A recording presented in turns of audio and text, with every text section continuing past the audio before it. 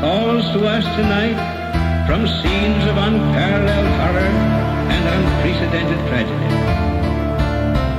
It is the voice of our bravest sons and daughters and of their kinsmen and allies beyond the seas. It is the voice not only of brave men prepared to meet death, also the voice of women and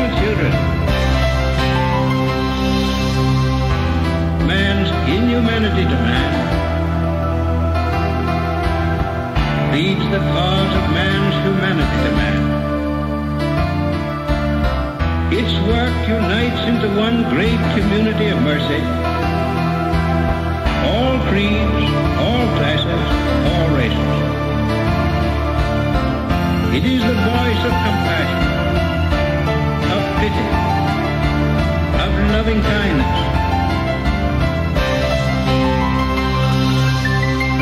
Welcome the refugee, comfort the afflicted, feed the hungry, and bring hope to the dying. Voice of humanity calls to us tonight.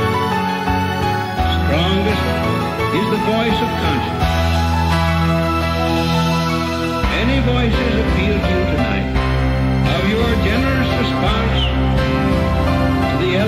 Appeal of these many voices.